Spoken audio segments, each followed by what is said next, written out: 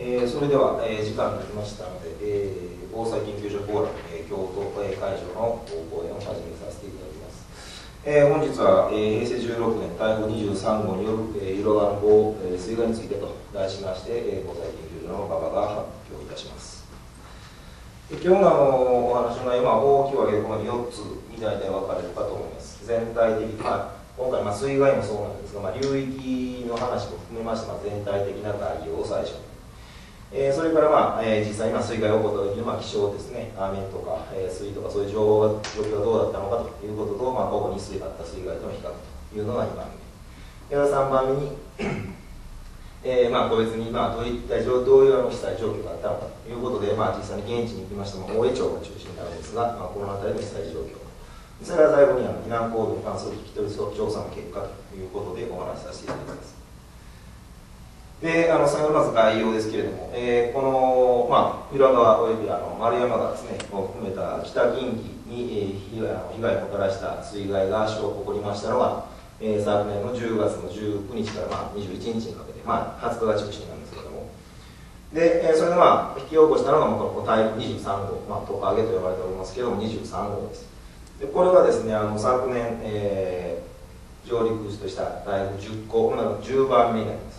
でこの台風の雨と、まあ、その関連する前線の影響ですね。により、まあ、20日を中心に、まあ、集中的に激しい豪雨があったでこの総雨量はですね、まあ、あの近畿とかでは300ミリを超えただけなんですが、まあ、四国大分県では500ミリを超えると、まあ、それとかですね、日雨量の極地を更新するといったようなですね非常に強い雨がもたらされております。でこの図はあのアメダスのですね、えー総合分布としてですね、えー、最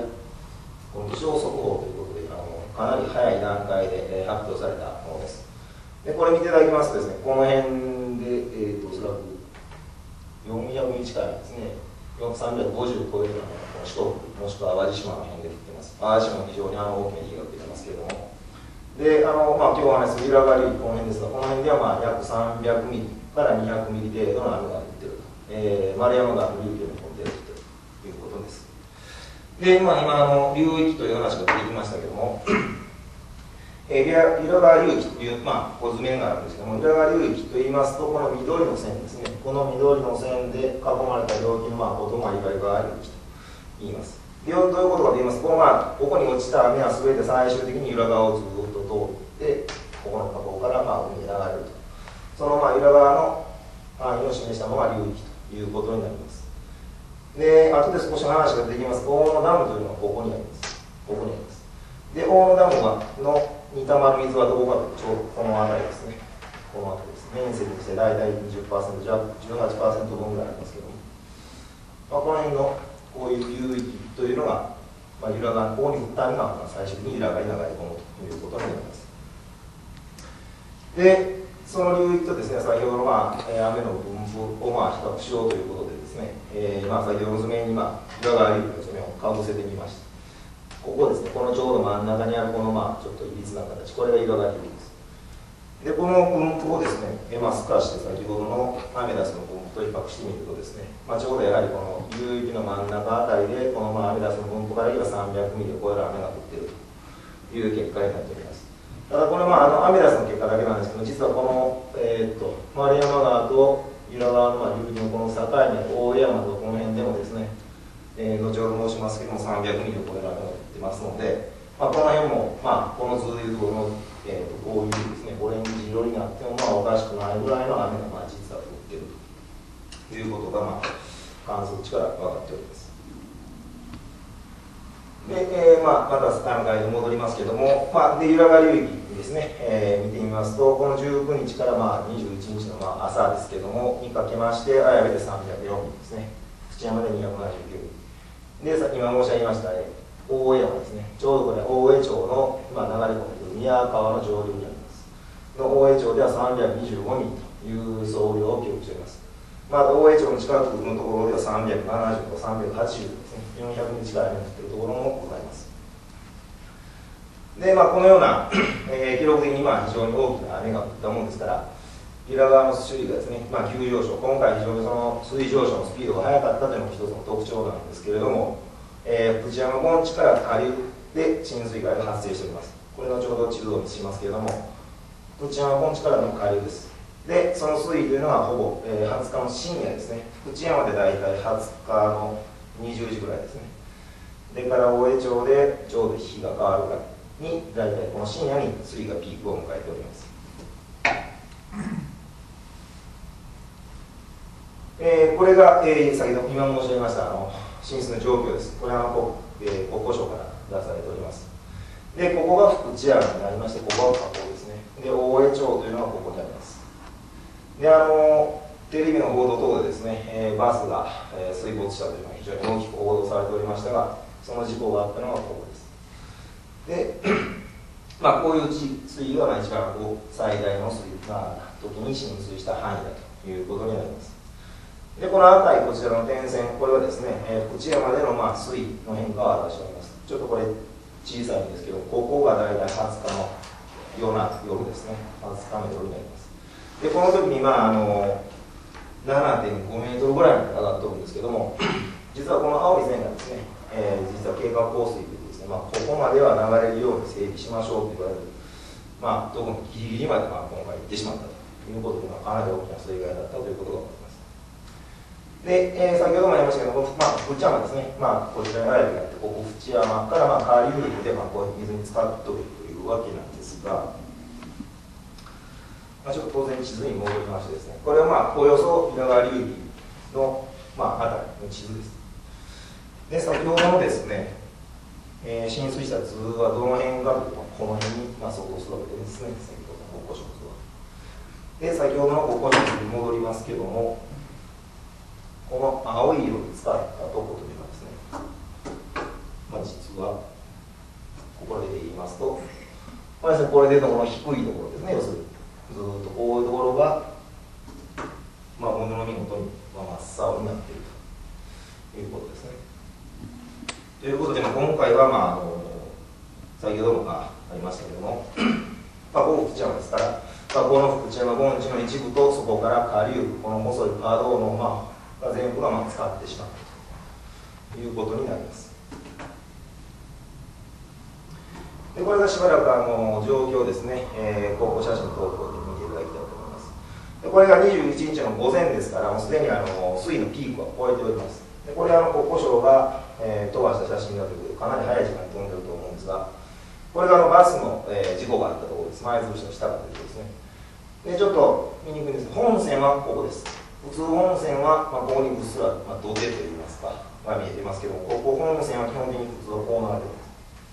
でもこの図、まあ、写真見ていただいても分かりますようにこ両側からですね迫った山と山の間今の底を、まあ、裏が流れているわけですけれども、まあ、この水害の際にはですねこの山と山の間全部使っている。でこれおそらく21日の朝ですので、えー、ピークから3メーターないし4メーターぐらい下がっているはずです。でこの時点ではまだこの道路ですね、175号線という道路は見えてないんですが、まあ、ここバスがちらっと見えてますので、おそらくそのぐらいす。ぐ下がっているかと思います。まあ、ですので、まあ、さっきもありましたけど、あの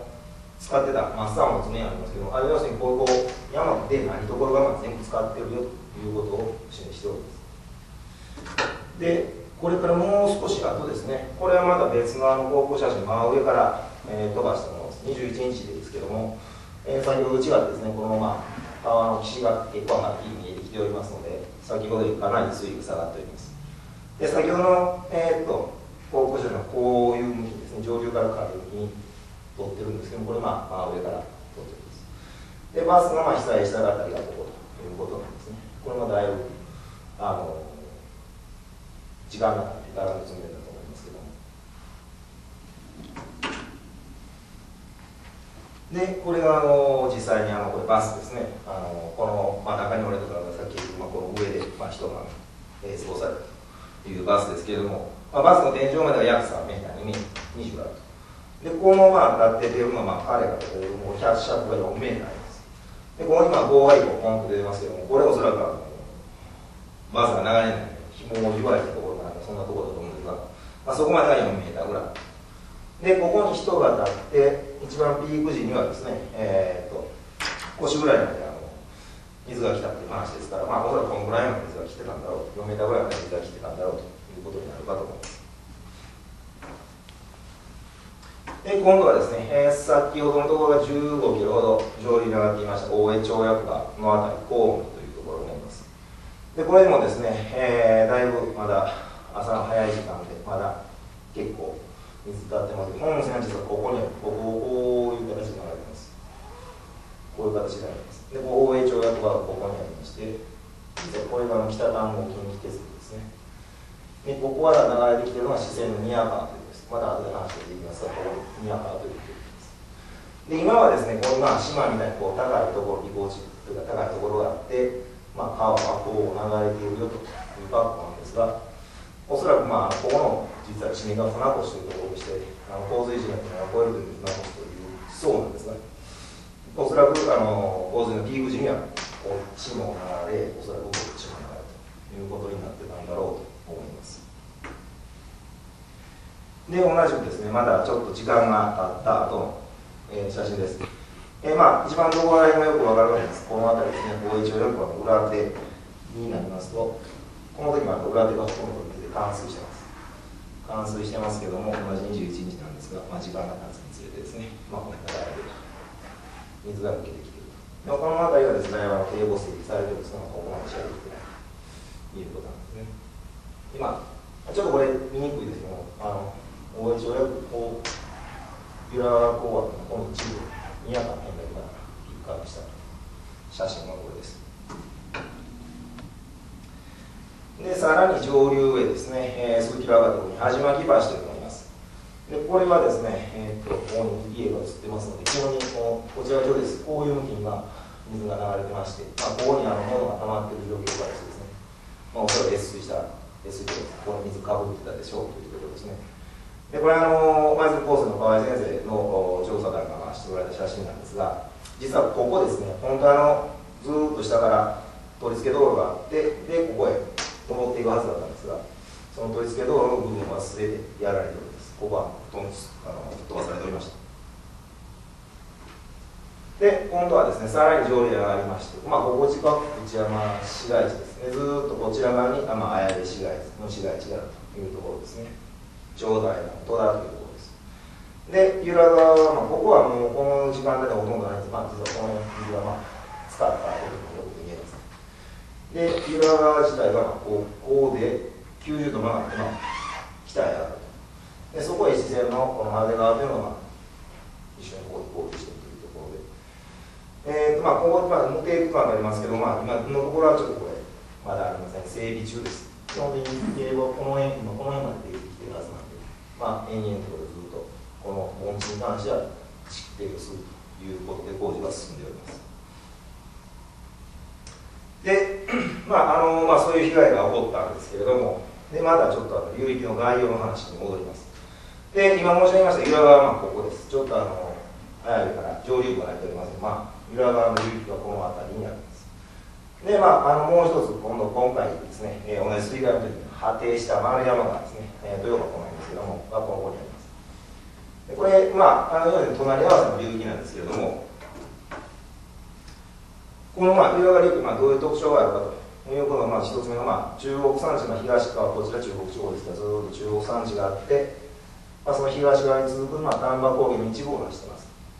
でこの丹波高原というのはですね、まあ、あの尾根のその高さのその抵抗性を特色とするということですね。いやそのまあ、どういうことかというと、突出した山があるいうことで、大体600メートルから700メートルの山がうねうねうねうね続いているというところになります。で、岩川流域で言いますと、確か大山ですかね、えー、っとこの辺りだと思います。大山840メートル、一番高、かったかなと思いますけど、まあ、それにしても、あとは700メートルとか600メートルぐらいの山が続いている、そういう、えー、地形的な特徴があります。で、岩川流域だけ今戻りますとですね、まあ、上流部、まあ、ここが綾部です。で、ここ土山ですね。この綾部と内山の盆地から上が上流部と。お伝えしますけども、この上流側の渓谷がまず深い、非常に深いですね、あの山陰線走るとよく分かりますけども、えそれとまあ河岸暖流が発達しているという、こういうまあ地形的な特徴があります。で、まあ、中流部、今申し上げましたように、えー、口山と綾部の間、ここにまあ盆地があって、まあ、唯一、まあ、開けていくところですね浦和流域で唯一開けているのはここだとで福知山からまあこう北へぐっと向きを変えるんですが向きを変えた後の下流っていうのは、まあ、先ほど写真でもありましたが山でも迫っていると。非常にまあ狭い谷底平野が海の海の上に続いている。約30キロから10キロぐらい続いてます。でここからあとはですねまた非常に過小勾配が有利ということで大体8まあ当然距離の取り方によるんですが大江町町がここですけども大江町から河口までの間大体8000分の1ぐらいという非常に有利、えー、勾配というのが一つの下流の特徴になります。で、えー、色が流域の、まあ、流域面積が大体1880平方キロということでこれは近畿では3番目になります、えー、淀川新沼について3番目の流域面積を持ちます。でその、まあ、流域長が146キロ。で、まあ、見ていただいて分かりますようにですね、まあ、ここの盆地とあとここの辺にまあ開けた、川沿いに開いたところが細々とあるだけで、まあ、基本的に89%です。ほとんどが産地です。ですから基本的に産地河川ということになります。で、あのこれ先ほど申し上げた縦断図ですね。英語に書いてありますけども、河口からですね、24キロ、この辺がまあ大江町になるんですが、まあ、ここの間でまあ8000分の1ぐらいです。えー、まあ非常に、まあ、上流あの山の方はですね、あの200分の1とか非常に高級勾配なんですけども、まあ、下流が非常に観光配であるというのが、まあ、これは縦断図から見た、えー、浦和の一つの大きなまあ特徴です。でまあ、あの浦和という、まあ、流域というか、の特徴を、まあ、お示しした、まあ、その次ということで、まあ、じゃあ、浦和の水害はどういうことが今まで起こっていたかということをお話します。で、この本によりますとですね、えー、江戸期の233年間に、まあ、あの記録が残っているのを見ると106回だったと。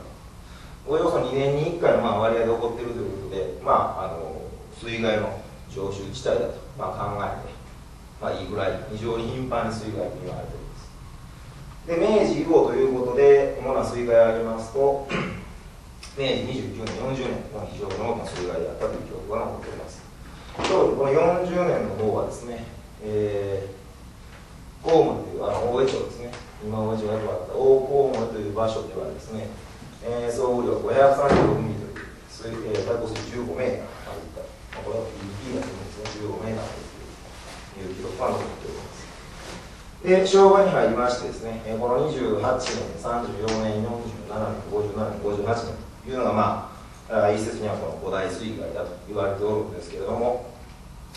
まあ、この中で28年というのが一番大きな水害で、まあ、この時の大体上特に上流部ですね。先ほど言いましたあの綾部の本地から上の上流部。で、まあ、特に大きな雨が起きまして、まあ、大体500ミリぐらいの雨がそこら辺で降った。で多いところで時間が来ると20ミリいきますような雨が降っている。ということで、まあ、この28年の水害あの地元の方は28歳という言い方をされますけども、まあ、これがあの非常にまあ大きかったということで、まあ、これがまあいろいろなものを基準になります。であとこの34年というの実際の台風なんですがこの時にまああのいろんな記録が残ってましてその時にですね、えー、時間、えー、90センチですね。1時間90センチに及ぶ水上昇がおそらく1万円だと思いますがいやあったという記録が残っていました。ただ今回あの後で少し出てきますけれども実は、えー、これ非常に大きな水上昇が起こっております。で、えー、ちょっとまあこの29年、40年ですね、だいぶ古いんですが、えー、この水害、規模としては40、今申し上げた40年の方が大きかったんですが、まあ、被害ですね、人的被害に関しては29年の方は約200名の方が亡くなっている。にもかかわらず、明治40年の方は、まあ、死者13名でしかいらない。で、これはなぜかということで、まあ、そこに載ってたのは、まあ、29年の水害が教訓としてきたと。まあ、皆さんのまあ動きが良かったらしくですね、えー、公園隊なども非常に活躍してですね、まあ、希望としては40年の多かったんですが、まあ、こういう被害を受けることにはまあなんとか成功したという記録も残っております。えー、それで、えー、っと先ほどまあ五大水害ならぬあれなんですが、まあ、戦後です。これ戦後の主要、えー、洪水記録というものが残っております。えー、この、まあ、筆頭にあるのは昭和28年、まあ、この25日ですね、台風13号によりますこの水害が、まあ、この流域で今までの気を抑えるというふうに言われております。まあ、記録残ってはないんですけどね。で、まあ、それの、えー、年最大流量が6500トン。で、福知山での水位が、えー、7.8ですね。7.8メートル。で、えー、福知山から上流です。上流側の、ですかね。ちゃうこれは流域ですね流域平均の総雨量が360ミリということですで今回の水あ台風はどうだった？か平成16年の台風はどうだったかというと内山のまあ上流です。上流の平均雨量が288ミリということですのでまあそれでこれで中にまあ無理やり入れは2番目それから内山水位7.55それから、えー、最大有量5300と内山出たというのをまあ大体2番目に当たりますので、まあ、ですので今回の水、えーと、台風による水害は、まあ、こういう順序に並べると、まあ、28年水害は次に、まあ、史上2番目の水害だというふうに表現されたりもします。で先ほどあの 戦後の五大災、えー、水害といいました28年ですね。34、47、57、58というところに丸をつけますと、まあ、台風13号それが35のこれ一番台風です。でその後台風台風台風ということで、まあ、五大水害で言われるものは基本的に今台風が控えになって起こっているということが分かりますでもう少しあの記録を遡ってみます。ここは昭和28年です。でこれは福山市というものに載ってたんですけども、まあ、これ整理してみますと慶応2年、えっと、確か1866年かなです。に、えー、寅年の大水というのが起こっております。これが出るときに、えー、記録としては福山で8.18メーター。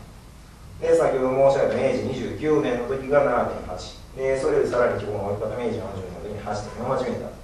というところまで福山まで水位が上がっている。というのはまあ確かに突出しとるんですけども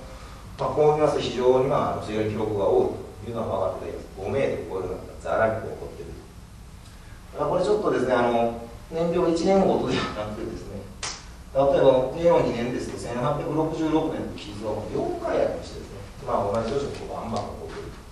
そういう年がちょっとごちゃ混ぜになって広くなるんですが、まあ、こう非常に水害に見舞われやすい土地であるで先ほどですね、えー、台風がまあその水害を引き起こしてるんだという話があったんですが、これ今回の台風ですね。今回の台風です。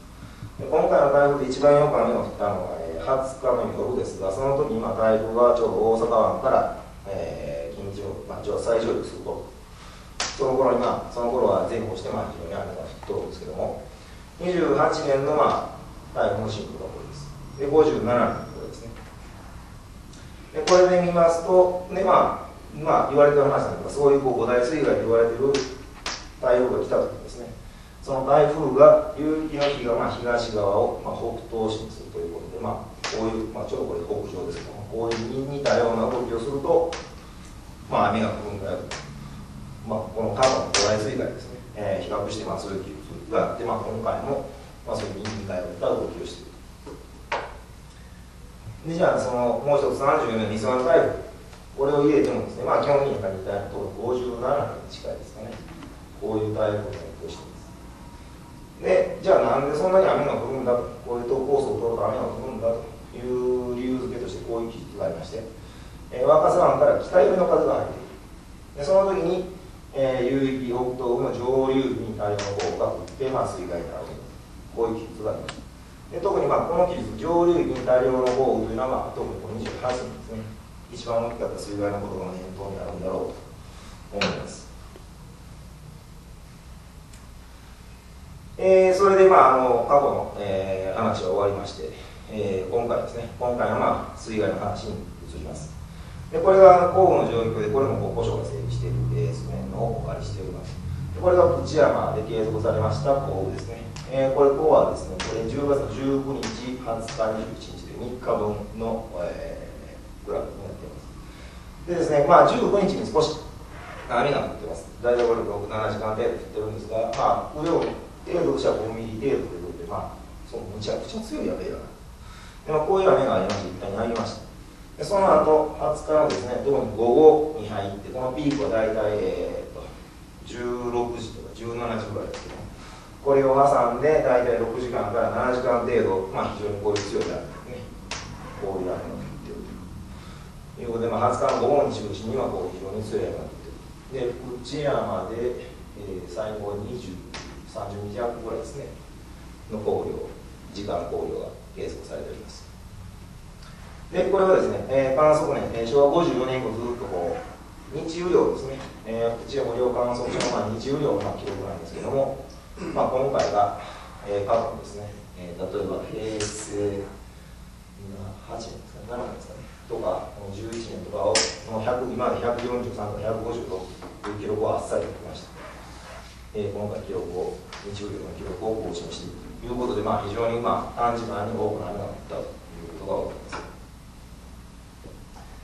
で、そのまあ雨に伴って、まあ、水位がどうだったか、まあ、これは先ほどお見せしました。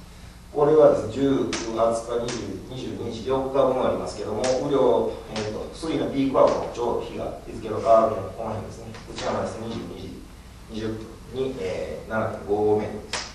で、これをの、まあ、7時間ですね、ちょうどこれですと、22時ですから、15時、午後3時、雨が非常に強くなってきたところですね。その頃からの7時間で水位が5.5メートル、この辺から5.5メートル上昇しているで、後で出てきますけども、あの大江町に一番近い萩というところでは5時間で、えー、7メートル余りという、まあ、むちゃくちゃな水上昇が観測されておりました。で、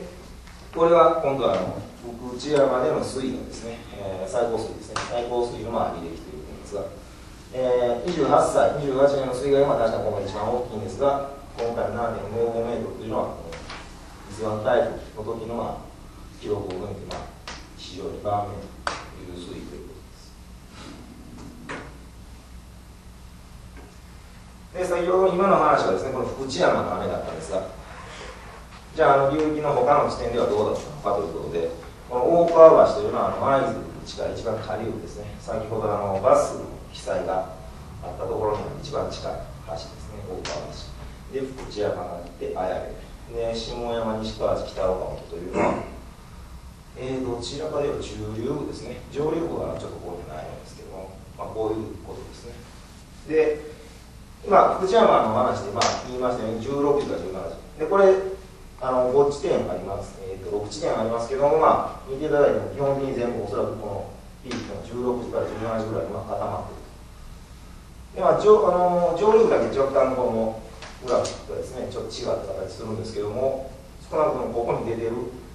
範囲の中では、まあ、ピークは16時から17時。でここにボソッと少しだけ書いてありますがあのよく比較対象で出る昭和28年。今までの気温最大の降がどうだったのかといいますと、えー、ピークは2回ずつありまして、えー、後半のピークは上陸が中心と、まあ、前半のピークは中流が中心ということでちょっとバラバラに振っとるんですけど、まあ、今回の場合は少なくともこう見ていただいたら分かりますように、この辺りではピークが重なっているということで、流域全体にまあ通った雨が降ったということがお分かりいただけるかと思います。で、えー、っと、これがまあ平成16年、昨年の雨の、えー、降り方ですね、のグラフです。こちらは昭和28年の雨の降り方のグラフです。でこれ、足尾というのはもう上流になる地点から、まあ、代表として口山は中流。から大川橋ですね、付近のところ下流部のまあ代表ということで、まあ、雨の降り方をまあ28年と平成16年を比較したという図面です。で、見てみますと、まあ、このピーク値ですね、雨のピーク値に関して、まあ、ここは、これはちょっと後でお見せしますが、あの昭和28年の時は舞鶴近辺、このまあ大川橋もそうですが、の時にところでは非常にそのでかい雨が降ってるんですが、実はその辺でしか強い雨が降ってます。その他ではですね、基本的に今回、平成16年の方の、ま、時間の最大値が、まあ、ほとんど大きい。まあ、同じ大体点で調べてもほとんど大きい。で、先ほどピークは2回って言ってましたけども、えー、まあ、これ下流部なんですが、実は下流部と上流部の隣り合わせでして、えー、この大川橋、まあ、のところは、まあ、ちょっとすぐ裏側に上流部があるんですが、そこもまあこういう形で後半ですね、雨の方の後半にピークが来ている。その代わり内山とかですね、その他の中流域はどちらかというと、前半にピークということで、まあ、28にまあこういうのって逆に、えーと、先生16年の方は、まあ、下流中流が有に思います。で上流については、まあ、前半のピークはこう、大体同じところに来た後で、一旦になって後で、まあ、二山になってなんですが、まあ、こういうピークは揃ったピークは全,、まあ、全体に見られたと。いうのは、まあ、大きな違いになります。で、えー、っと、まあ、あの、今のグラフが見ても仕方がないので、まあ、じゃあ空間的にですね、どういう雨が落ちたかというのを、まあ、えー、見てみたのはこれです。で、これは、あの、いろんなところの、まあ、雨量の観測結果を示したものですでこれ先ほどの流域図ですで各あの雨量の観測点がありまして、えー、雨量の大きさはこの今この輪っかの大きさで、えー、示されている。でこれちょうど一番雨が強かった頃ですね。15時から16時ということで。今見ていただきますとこの特に下流から中流ですね。この辺り。に非常に大きな雨が、えー、出ましてこの時あの大山ですね。大山では実は47ミリの雨が降っております。これがまああの時間災害大山から時間災害なんですけども。いやまあそれに比べてまあ上流がまあちょっとあの観測点が少ない線があるんですけども、まあ、上流側ではどちらかというとまあそこまでから20から30の間で中流側ではまあ30から40ぐらいの雨ということで若干この時間帯から中流の方が強くなっております。でこれをですね、えー、時間を動かしても19日から動かしてますで先ほど言いましたように19日に大体5ミリ前後の雨がパラパラと降ります。で一旦これは夜にやりますで20日になってこういう形で昼前ぐらいからダーッと降り始めてで最後まあこのドップまあこれが2山になっている理由です。まあちょっとこれが駆け足でしたんで、えー、っともう一回ゆっくり見てみますとですね、まあ、この19日の雨はまあこの程度です。5ミリぐらいですね。このぐらいの雨なんですが。でこれがずっと消えましても20日に入ります。でさっきちょっと飛ばしますけど先ほどお見せした15時16時というのはこういう雨ですね。こういうこうですね。これが一番ここら辺かもしくはこの辺りが一番雨が強い。この時間帯になれば上流でも30ミリぐらいですね。でこっちはもうそれ以上とか40日からずっと降ってる。2時間かかってそのぐらい降ってます。でその雨がどの辺から始まったかというと大体まあ見方によるんですけどおそらくこの12時か13時とか1310時ぐらいですね。でこの段階で言いますと、まあ、上流部はまだ20ミリいかないんですけどもこの段階で中流では20ミリから30ミリ近い雨が降ってます。でこの雨がこういう形でですねどちらかというとまあ、こっちをですね中流部から下流部中心にまあ先を打ってで中流部と下流部が病んだかなという頃になってこういう雨がですね上流部からです、まあ、こういう雨の降り方をしています。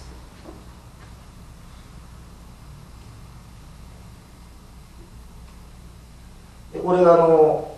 平成16年昨年の雨だったんですが、まあ、それと比較してですねえー、あ、来ましたね。えー、28年の雨の降り方です。ちょっとこれあの、今回に比べると観測点が少ないんですけれども、まあ、ざっとこの雰囲気だけ見ていただいてもですね、平成16年と比べて、まあ、降り方にムラがあるなというのは分かっていただければと思います。でこれもですね、ちょっと書き足ですので、ちょっとこれに戻りますとですね、大体雨が強かったのはこの25日の17時頃って言われてるんですね。大体この辺りなんですがただ雨のまあピーク先はあの大川橋というところで非常に強い雨が降ってました、この辺舞鶴もそうですね。それからまあ舞鶴もすぐこう隣り合わせでまああのいろいろな上流域になるんですけどこの辺でですねやっぱり30ミリとかこの辺これ50ミリぐらい降ってきたと思うんですね。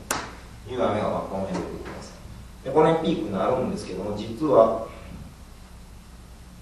中流部ではですねどちらかというとこういう降り方してますので大体25日明けて午前中はどちらかまあ見方によるんですが午前中はまあこんな形ですね。20ミリぐらいの雨がまあ中流部バーッと降っている。でそのうちにどちらかというと後半午後になって、まあ、こういう時期もありますけども午後になるとどちらかというとこう上流側の方がこういう形でちょっとまあ雨の降り方が28年と今回違ったなというのがお分かりいただけるかと思います。えー、で28年の雨をちょっと見ていただきましたけどもこれあの観測というか数値がデータなんかでもざっと並べたものです。で例えばこの舞鶴もそうですね。それから舞鶴に近い先のこの大川橋に近いところ。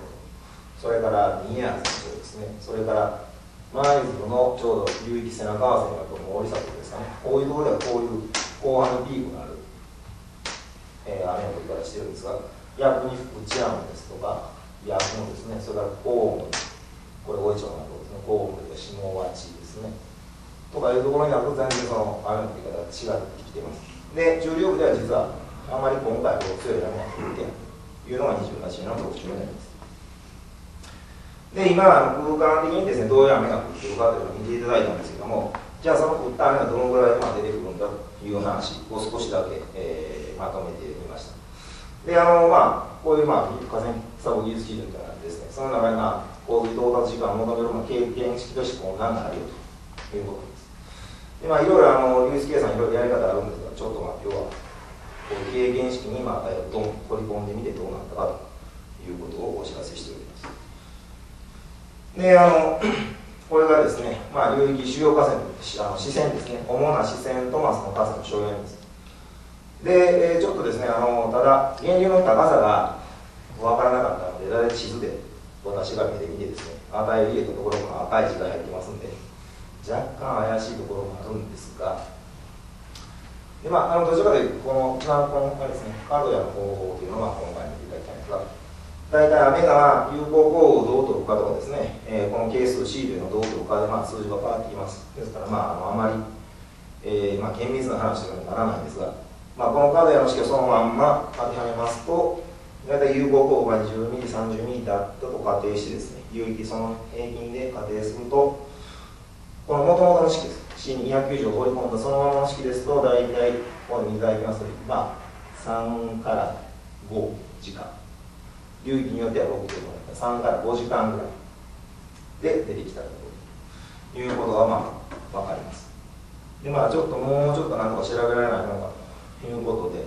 これがあの先ほど申し上げた福知山上流域です。福知山の、えー、いろんなことを調べるのに使われる福知山の上流域で降った流域の平均雨量の時間変化です。を並べてます。でこの赤い方が平成16年昨年なんですね。でこれ時刻が平成16年に入ってまして、えーと、これちょっとあれですね。ここであのこちらは19日です。19日に赤い方がちょこっと雨が降って17日の午後にこういう雨が降ると。で実はあの17時というこのピークはですね実はあの昭和28年と一緒なものですから、まあ、同じように見ていただいたらですね、えー、昭和28年の場合は25日に入るともこういう雨が10ミリ超える雨がずっと続いて。でこの17時あたりにピーク。このピークを作ってるのはさっきあの東北上陸で降った雨なんですけど、まあ、こういう雨になってます。でそれをですねこの図面のに載せますとこれはちょっとあの福知山実際の雨なんでちょっとこれはちょっと置いといてもらってですね。先ほどの図面で出てきた16年のピークというのはここです。で28のピークというのはそれ、時間でここになる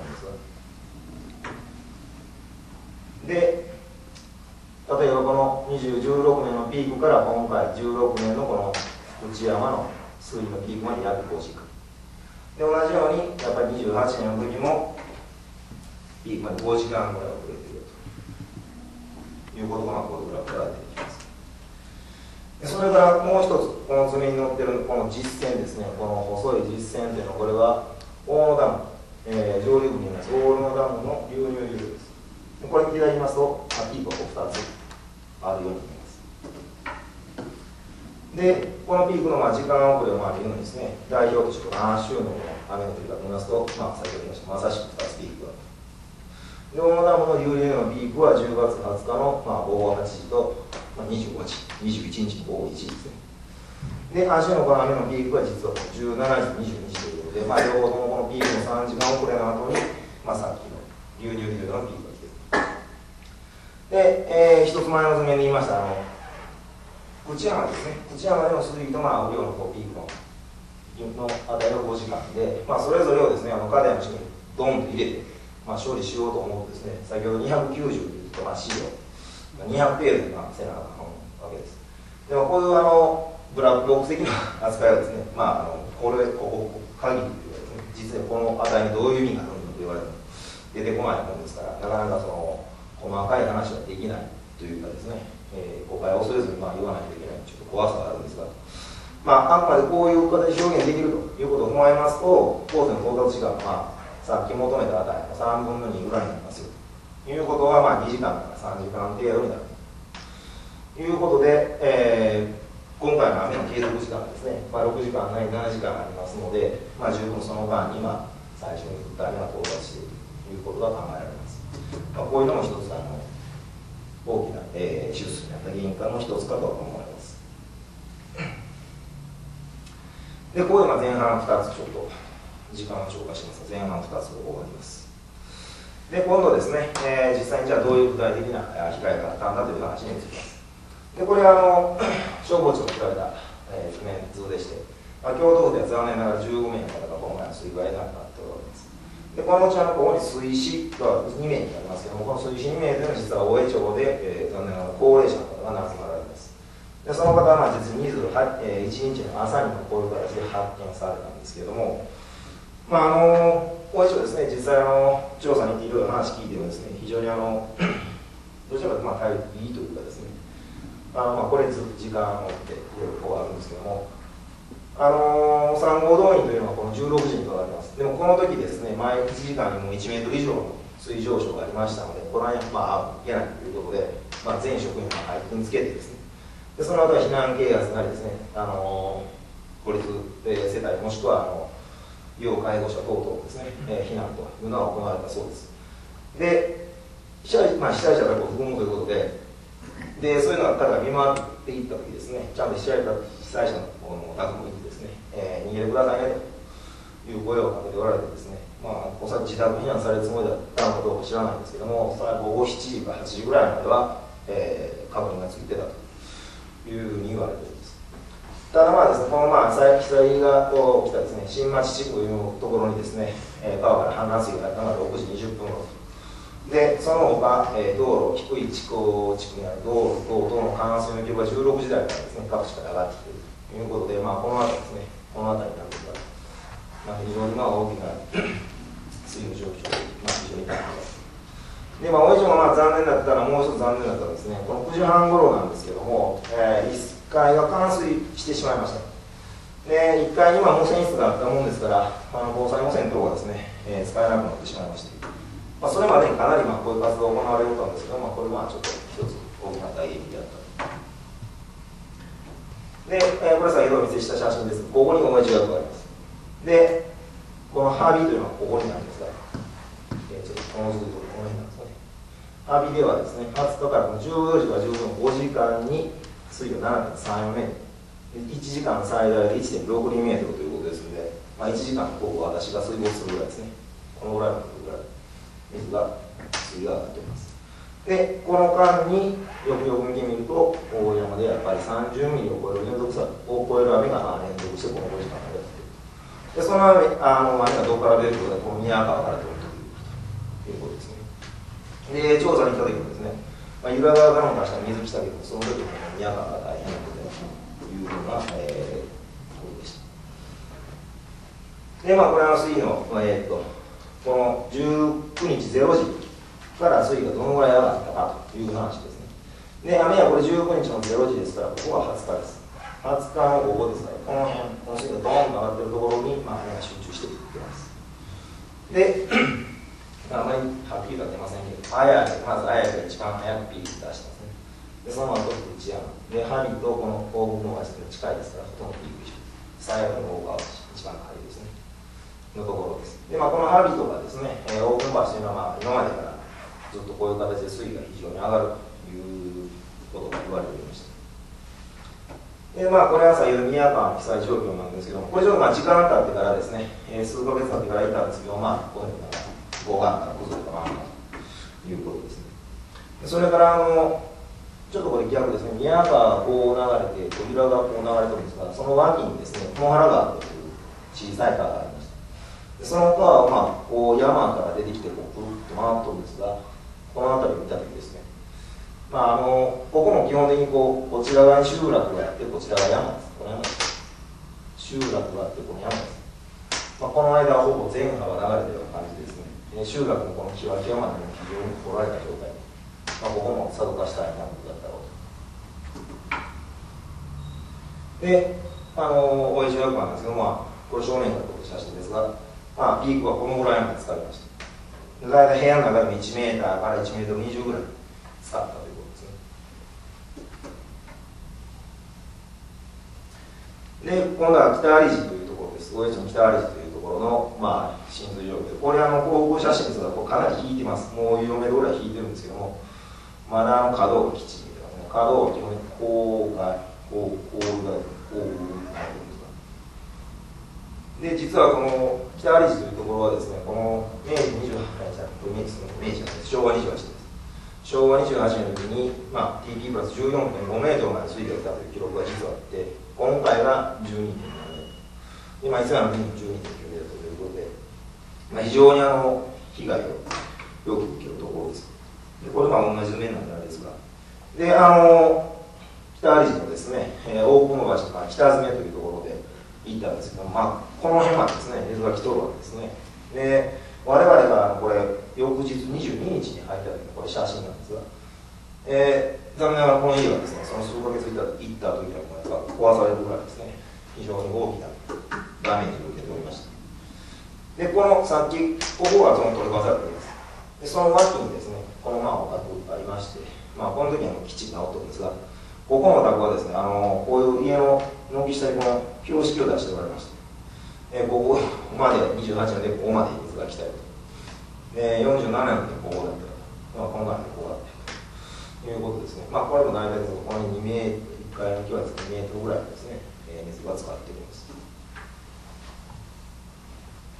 えー、っとまあそれでここまでが公営庁ですね、えー、の話でしてここから聞き取り調査の話に変わります。あなんでですね、このあの、聞き取り調査の話です、これもあの舞鶴コースの河合先生がやられたんですけども、やられたのが11月から12月。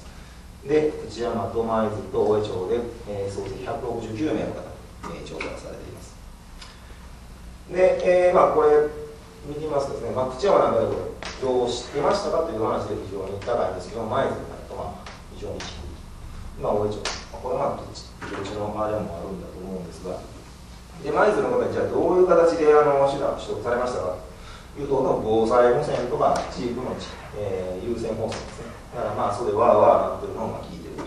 ということです。逆に、えー、っとですね、それで、舞鶴の方がじゃあ、その情報をいつ知りましたか？という話、いつ避難を開始しましたか？というのを比較してみますと、まあ、もちろん数が少ないんですが、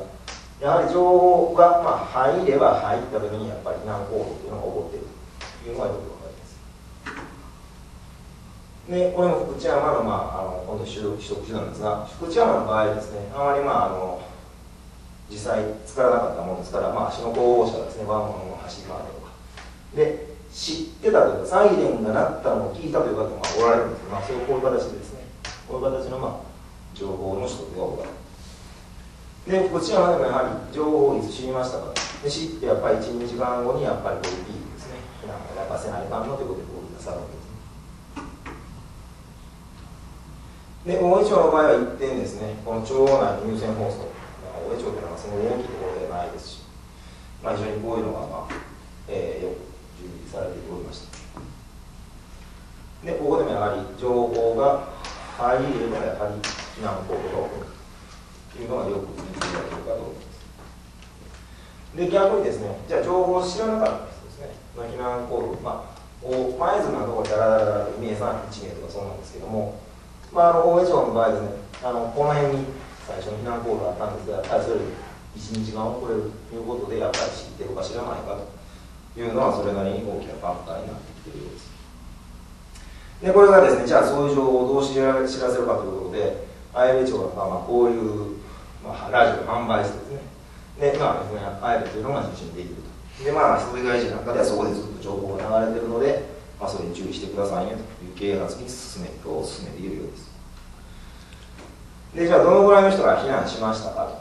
ということで大体ですね6割7割から6割ぐらいの方が、えー、どどの地点でも避難されています。でこの方々のうちですね自宅避難自宅の要するに2階なり高いところに逃げたよという方はまあ、大体舞鶴と大江町で半半分でうちの場合ほとんどあの施設が置かれていられてるまあ、これも大体土地のというか地域の特性が出ているように思います。でどこに避難場所しましたかまあうちの当たり前ですね自宅が少なくて公共施設もしくは親戚知人というのがあります。で舞鶴大江町の場合は、まあ、自宅避難が一番多い。ですね自宅避難が多くて、まあ、その後公共施設、えー、から親戚知人だということになります。でその次ですが じゃああの先ほど避難した方7割か6割おられました。この避難した人の中で家が浸水した、えー、お宅浸水しましたか？というのを聞いた場合ですねやはり避難したところ家の人は8割以上9割近く水に浸かってるんですね。ですから避難するという、ま、意識のある方はやっぱり自分のところが危険だということをだいぶ認識されておられるようです。で逆にその裏返しなんですが避難しなかったで浸水しなかったケースもそれなりに高いですねやっぱり。8割弱7割近くありますので。だからそういう人はうちは大丈夫だと、えーまあ、分かっておられる方が多いんだろうということがまあ推測されます。ではですねこうあの浸水が実際起こったわけですけどもそれまでに何をしましたか。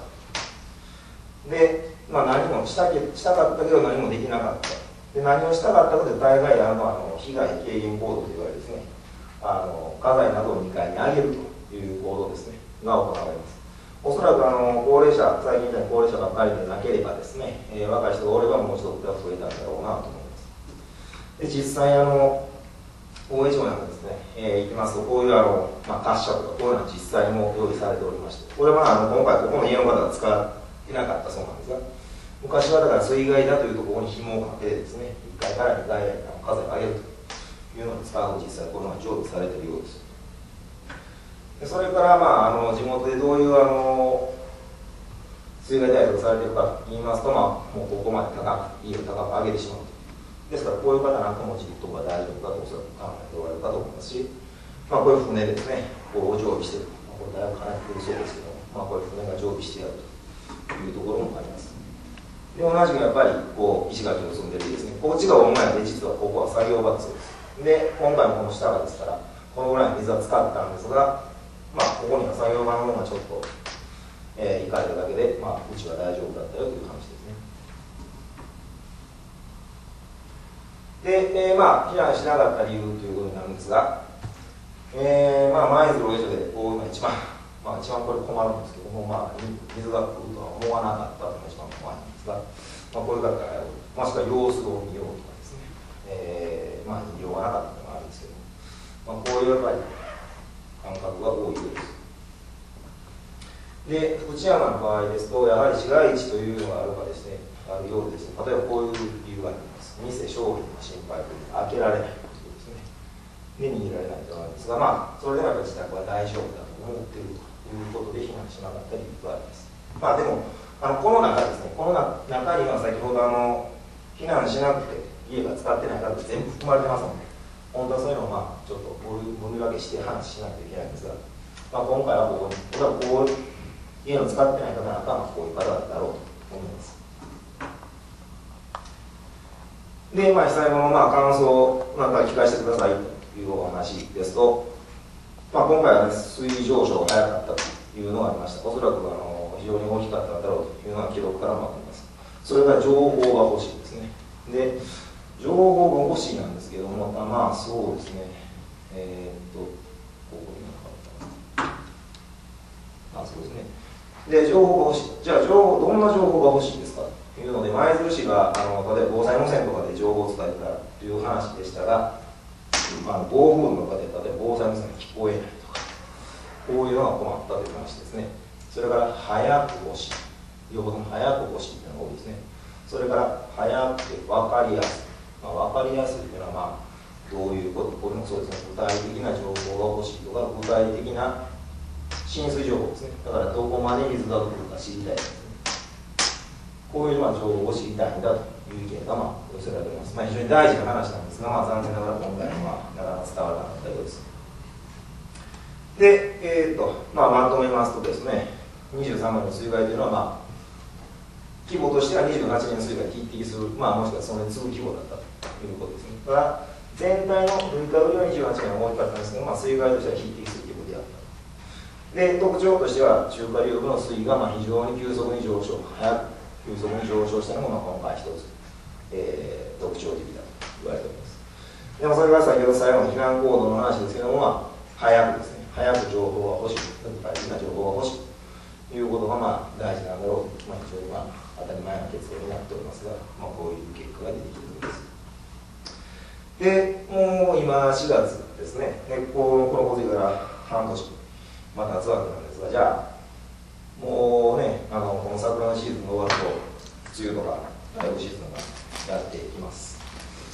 で、えー、実はこれあのこういう水害を受けて、まあ、この防災フォーラムというのがあったんですがそこであの緊急整備局の方がですね、まあ、浦和流域に関して、まあ、こういう整備をしますというお話をされてました。で例えば、まあ、こういう協議会というのは発足させてハザードマップを配りますとかそれから浸水区域全校対象で水、えー、避難訓練を行いますとかですね、まあ、あとはそのさっき出てきましたけどその危うなんかを通じた情報の提供等々ということをやります。17年ですからもう今年の中水までに整備しますとおっしゃってましたでこれがハザードマップを全校に配るという話ですねえー、6月末をめどに完成させて全校に配るということで、まあ、こういうハザードマップを配ると。で、これも、えー、同じくですね、17年、出水まで整備します。何を整備するかというと、まあ、水位と浸水、想定高さの情報提供、まあ、これ非常に大事だと思いますね。で、今回16年でもですね、確か、えー、っと、近畿地方水利業のレベルでですね、何時間後にはどのぐらいまで水位が来るぞという情報があったらしいんですが、なかなかうまく、まあ、伝わってなかったらしくてですね、まあ、それを、まあ、どう伝えたというのが課題になろうかと思います。であとはこういうあの水位のアナログものリアルタイムの水情報を、まあ、提供しましょうこういうところでいろいろ提供しましょう。こういうことを整理しますとおっしゃってました。で17年19年度までにはどういうことをするかというのを、えー、考えておりますと先ほど言いました。例えば大江町役場ですね災害対策本部となるべきそういう場所がですね、えー、防災拠点になるところがまあ浸水してしまった。で他にはこういう、えー、舞鶴市役所の分室なんかもまあ浸水しておるわけなんですが、まあ、こういうところがまあ浸水すると非常にその後の作業にですね、えー、支障をきたしますので、まあ、こういう 緊急避難所の基盤を整備します、まあ、高いところをするとか。えー、別に使わないところにするとか、まあ、こういう整備をしますという方向に話が進んでいるようです。で、これまた26年まであの長期になりますけれども、まあ、その時にはですね、えー、こういう和重堤を作ってですと、こう山と山との間水が使ってもここは使わないようにしようとかですね、あとはこういうかさ上げですね、かさ上げ。それから防災の時にでもそのアクセスできるような道路を、まあ、この高い位置に作る。避難の高い位置に作る。という、まあ、こういうことをやりますということを、えー、今年の、えー、2月ですかね、に、えー、おし話しておられました。ちょっとこれそれをお借りしていきましたが。で、まあ、最後に、まあ、まあ、そういうのは非常に大事なんですけども、まあ、こういう状況をですね、整理してますと、よくありまして、まあ、災害体験あるところは、あまあ、いろんなことに対してちゃんと動けてるよ確か大江町もそうです非常にあの迅速な対応をしてましたけれども、まあ、困ったことにですね、災害が、まあ、いつも同じもので来るとは限らんと、まあ、これもどこでも言われてる話なんですが、いつもこの相手はゼロパイ品を変えてくるというのが、まあ、ちょっと注意せなあかんよと。で、どうしてもその、まあ、災害っていうのは、まあ、不測の事態と言ってもいいんですけども、まあ、状況の想定が簡単ではございませんので、まあ、そういうこう、これから先どうなるか想像できんいう不安な状態になりますと、まあ、実はその直面するのがしんどいので、まあ、我々の、まあ、心理としましては、じゃあ、いや、今度はこうなんだろう。何らかの状況を想定するとかですね、それ今、過去の水害体験とか、そのハザードマップではこういうふうだからこうなんだろう。という想定をして落ち着くか、もしくはあまりにもどうなるかわからんという不安がまあ生じますと、ストレス減少を図るために、いや、今回はそうならんだろう。いう危険を開く照らすを低くしてしまう、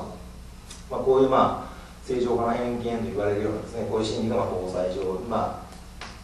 えー、出てくると言われております。で、まあ、こういうのをですねまあいやもうえん話なんですけども、まあ、災害というのは